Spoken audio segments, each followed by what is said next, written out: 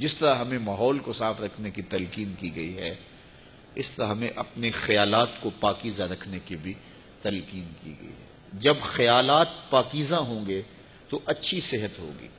جب خیالات گندے ہوں گے، خیالات غلیظ ہوں گے۔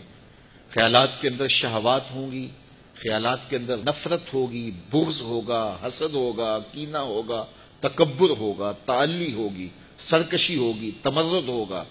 ریا ہوگی تسنو ہوگا بناوٹ ہوگی یہ ساری بیماریاں ہیں جو ہم اپنے ساتھ پالے ہوئے ہیں اور ہم سمجھتے ہیں کہ ہم فلاں سے نفرت کرتے ہیں۔ اس کو کیا فرق پڑتا ہے؟ نفرت تو تم کر رہے ہو۔ حسد کی جلن تمہیں سہنی پڑے گی اس کو تو نہیں سہنی پڑے گی۔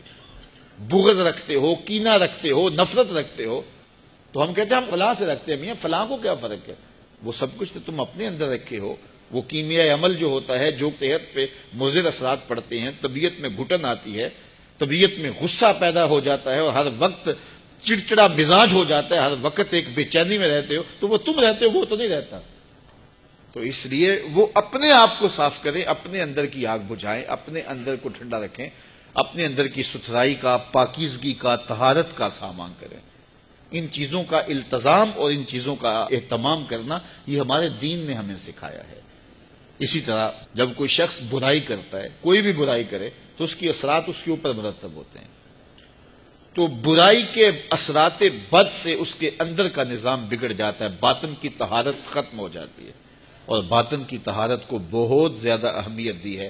شریعت اسلامیہ نے حسد کے کوڑے، بغض کا کچرا اور نفرت کا جو ہے وہ گند تمہارے اندر اگر جمع ہوتا رہے گا، تو پھر اندر سے تعفن اٹھے گا۔ اور وہ تعفن تمہارے دماغ کو چڑھے گا اور زندگی کا چین، زندگی کا قرار تمہارا لٹ جائے گا اور تم سمجھو گے کہ شاید فلاں کی وجہ سے ایسا ہوا، ہم نے خود نفرتیں پالی، خود اپنے اندر گندگی اور غلاظت ڈالی۔ کچھ اعضاء ہمارے ظاہری ہیں، کچھ اعضاء ہمارے باطنی ہیں۔ آنکھیں عزو ظاہری ہیں، کان، زبان، ہونٹ، ٹانگیں، ہاتھ، یہ ظاہری اعضاء ہیں۔ اور کچھ اعضاء باطنی ہیں، دماغ باطنی عزو ہے، دل باطنی عزو ہے۔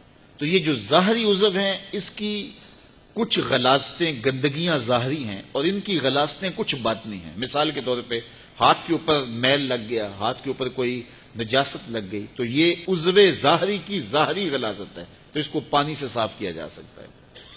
پاؤں کو چلتے چلتے کوئی گندگی غلازت لگ گئی، تو آپ آ کے اس کو جلدی سے دھو لیں گے۔ یہ عزو ظاہری کی ظاہری غلازت ہے، لیکن ان اعضاء کی ایک باطنی غلازت بھی ہے۔ مثال کے طور پہ یہ ہاتھ ہے، یہ عزو ظاہری ہے۔ اس کی ظاہری غلازت تو یہ تھی کہ اس کے اوپر کوئی گندگی لگ گئی، لیکن باطنی غلازت یہ تھی کہ اس ہاتھ سے تم نے کسی سے ظلم کیا۔ تو یہ باطنی غلازت لگ گئی۔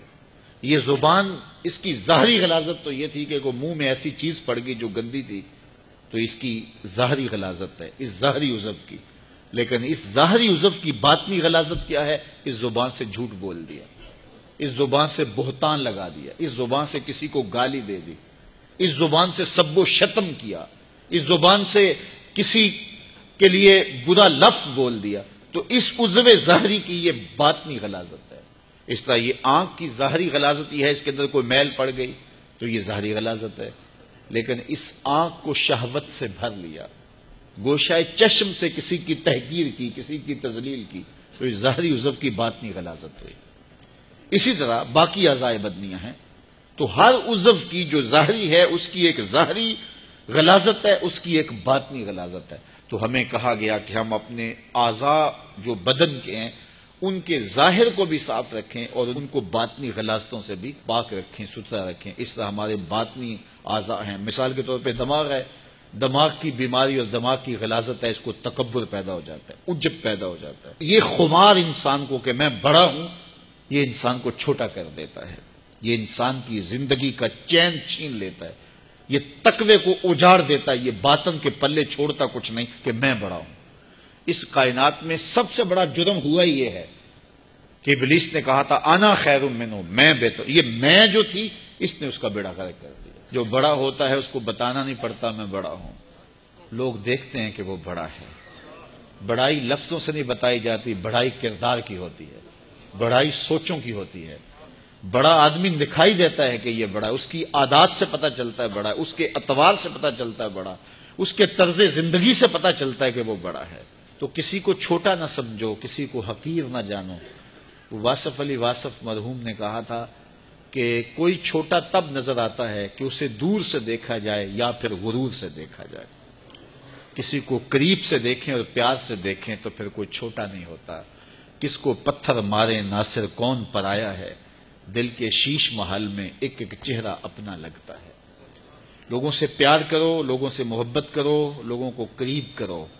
نفرتوں کے سوداگر نہ بنو، محبتوں کی دکان کھولو۔ جہاں تک ممکن ہو لوگوں کی خیر خواہی کرو۔ اور اگر لوگوں کے لیے خیر خواہی نہیں کر سکتے، تو کسی کی بدخواہی بھی نہ کرو۔